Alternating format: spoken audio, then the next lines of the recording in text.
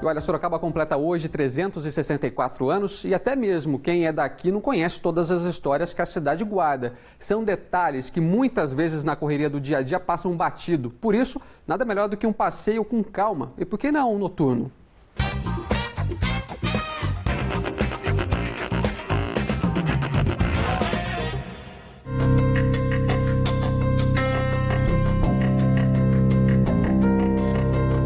Um passeio noturno pela história de Sorocaba. Conhece essa rua?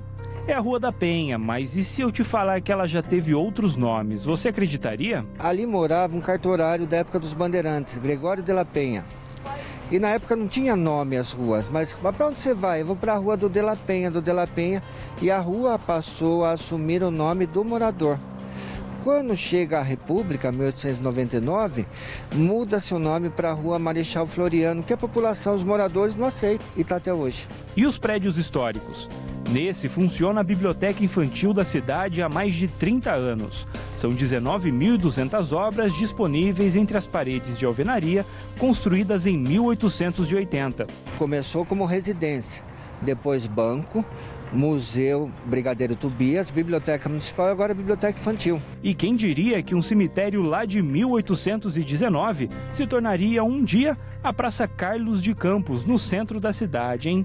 O nome foi escolhido em homenagem a um governador do estado. Antigamente as pessoas eram sepultadas dentro da igreja, mas 1850, mais ou menos, teve um grande surto de cólera que muitas pessoas morreram e não havia tempo nem espaço para sepultamento.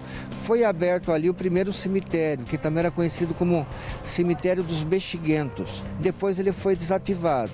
Os restos mortais continuam sepultados ali, mas dela foi transformada em praça, um logadouro público, mas foi o nosso primeiro cemitério a céu aberto. Esta aqui é a estátua de Baltazar Fernandes, que foi caçador de índios e morreu em Sorocaba em 1667. Esse monumento foi presente da colônia espanhola para a cidade em comemoração ao terceiro centenário de sua fundação em 1954. E tem a Igreja Matriz, a Rua São Bento. Andando assim por Sorocaba no dia a dia ou à noite, como eu estou fazendo agora, talvez você não tenha reparado quanta história a cidade tem para contar, não é mesmo? E são histórias que influenciam a vida de quem mora por aqui ter esse conhecimento, a gente saber da nossa história, eu acho que é uma coisa muito interessante. Não pude imaginar que, que Sorocaba tivesse tanta história e que tanta coisa de São Paulo pudesse ter vindo aqui de Sorocaba. É infeliz é o povo que não conhece a sua história. Então, é, eu, eu digo que é um passeio que todos devem fazer. A rua a praça, a cidade nada mais é do que uma extensão da sua casa. E cada conto, cada canto tem a sua história do passado e a história que você está construindo. E que você vai deixar pronta, deixando limpa, bonita esta praça, você está deixando uma praça legal para os seus filhos, para o seu neto, uma Sorocaba melhor para todo mundo. Então, já que a cidade também faz parte da nossa casa, com essa licença poética, encerro a reportagem dizendo: pode entrar, seja bem-vindo. Sorocaba também é sua.